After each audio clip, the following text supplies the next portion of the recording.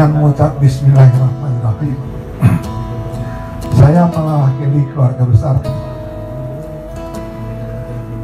untuk melamar putri Bapak dan Ibu Ahmad Jawis untuk dijadikan calon istri dari anak kemenangan kami.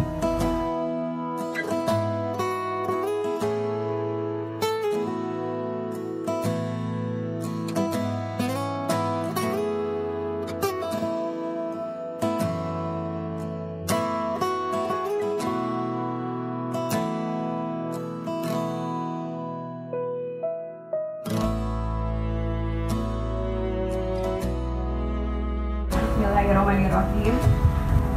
Saya menerima lamaran dari Abi. Alhamdulillahirrahmanirrahim